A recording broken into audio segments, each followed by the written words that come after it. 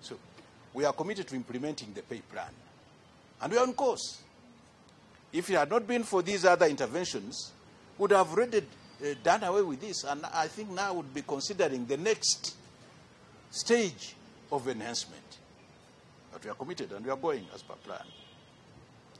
And by the way, before we reached this, we actually had engagement with these medical officers. They themselves, their leaders, the ministry officials, and everybody, because this is a really serious matter. And we agreed that given the circumstances, this is what we can do so far. It was a real agreement of interested parties who are working for the good of this country, for the good of ourselves all together as Ugandans. We said, okay, so far so good, we are going to work.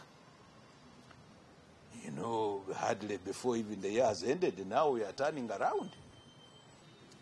I would like to make one passionate appeal to my fellow countrymen and fellow countrywomen, to my fellow servants, servants of the people, that please, senior medical officers, do not go on strike.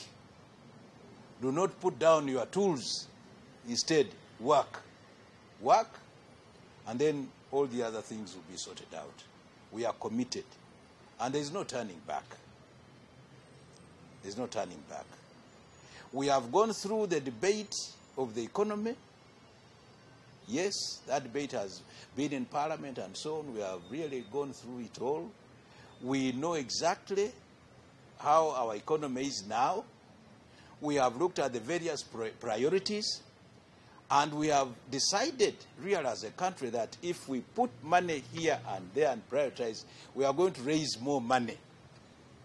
And with more money coming in, then the issue of enhancement will take center stage. Medical officers, please go back and work and save our lives so that we can even make more money and we enjoy our country and we move to the middle income status. Download the app on App Store or Google Play Store now. Vision Digital Experience, the future of media.